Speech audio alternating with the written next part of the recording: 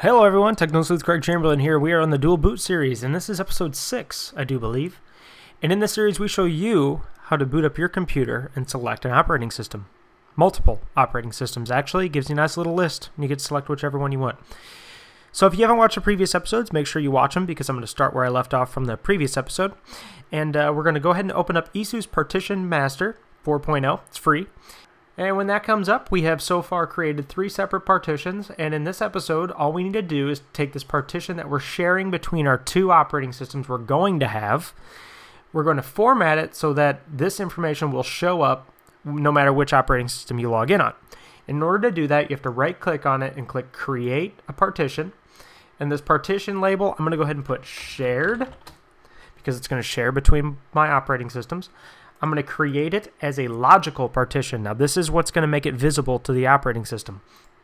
Some of you may be confused by this because if you look in your My Computer right now, you can actually see the Vista drive, but that will not be visible once we set up our booting. So this is actually going to disappear once we set up our boot manager. So the logical partition will show up no matter what when we set up our boot manager. So we're going to use this entire partition to uh, share between the two. I'm going to choose my drive letter as drive letter S since it's shared. And of course, you probably want to choose something after I or J. Uh, typically, you know, I like to leave the first few letters for a plug and play and then select OK. And as you can see, it's going to set it up to partition that out. And then all you need to do is click Apply. It's going to tell me it needs to restart the computer to format it, and then you select Yes.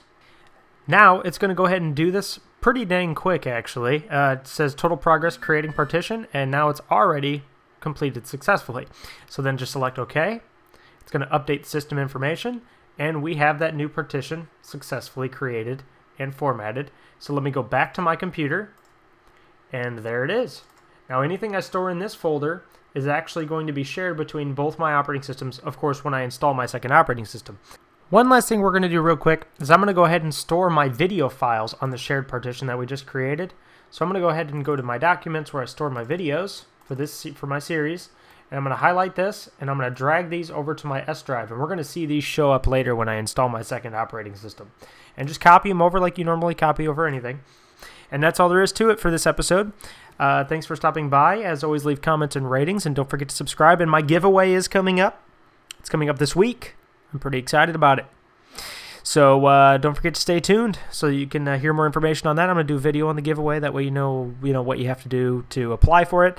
And I think you guys are going to be happy with what I choose. Thanks again.